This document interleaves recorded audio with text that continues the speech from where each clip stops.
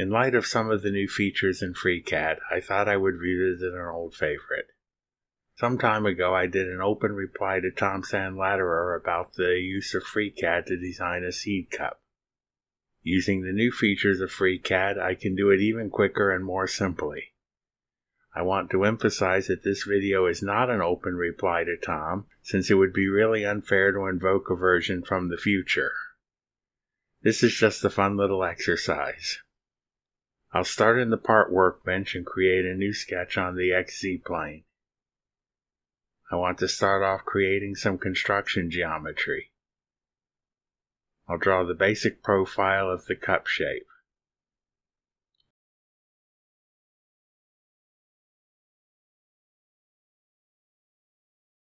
Now I'll switch back to real geometry. Select the construction geometry and click Offset. It's very important here to check the box to constrain the geometry. Set an offset of 1 millimeter. This is almost what we want, but the rounded edge at the origin is just not going to work. It protrudes onto the other side of the origin and will mess up the revolve. Drop a straight line down to keep the wire closed and delete the arc. Now close the sketch.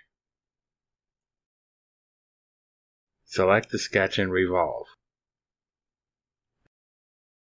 That looks pretty decent, but I'd like the lip to rise a little bit less sharply.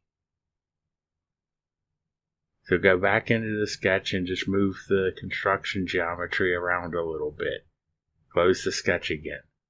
That looks more like it. But I don't need the whole cup here. I just want half of it so I can make it interlocking with a clone of itself. So select the revolve and change the angle to 180 degrees. Seeing it now in cross section, I see I forgot to make it a solid.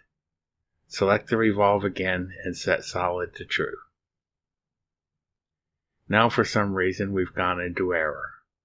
Looking at the messages, we've got wire is not closed.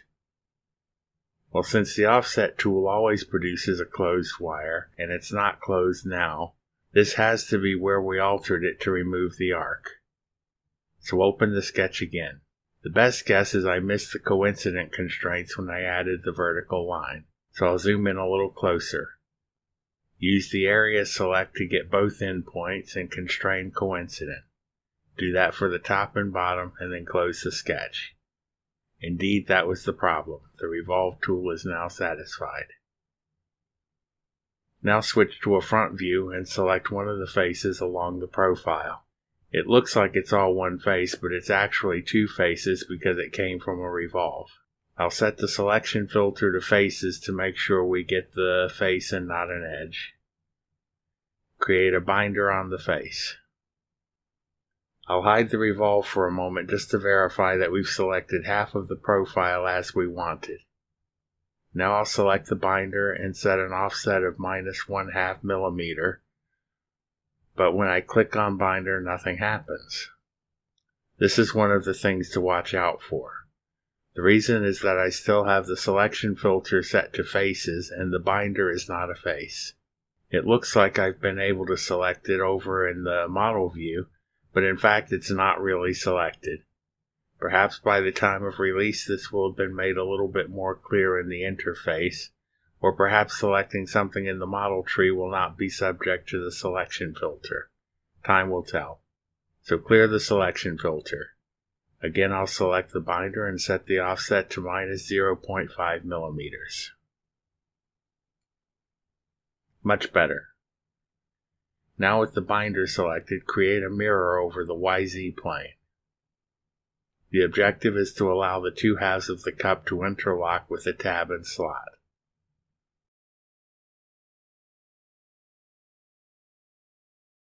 Open up the mirror and extrude the binder by 1 millimeter. This will form the tab. Now extrude the mirror by 1 millimeter. Because of the mirroring, the extrude goes in the other direction, which is exactly what we want. Now select the revolve, then the extruded mirror, and cut, forming a slot. Now select the cut and the extruded binder and fuse, adding the tab to the cup.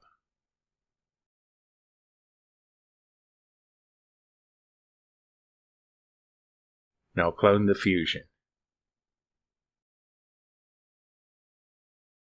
I'll get rid of the draft plane and switch to a top view.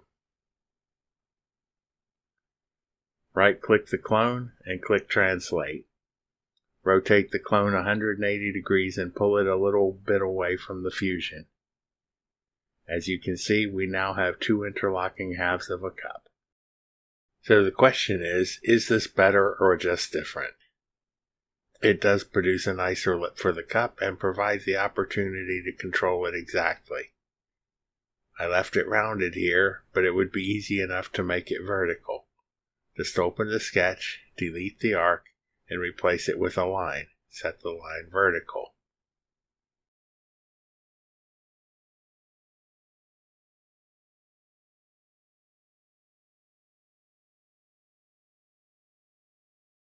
For some reason, this has reversed the direction of the extrudes from the binder.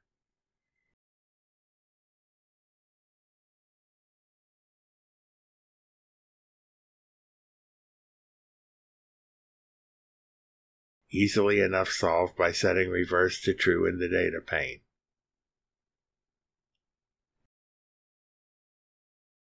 We can also give the cup a more distinct lip.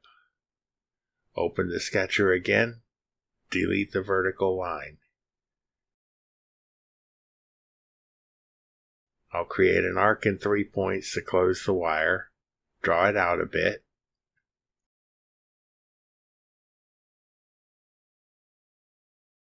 Now make the top tangent with the rest of the cup, but leave the bottom just coincident.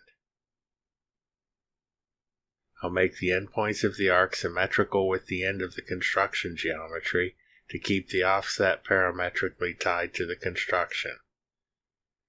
Close the sketch and there we have it.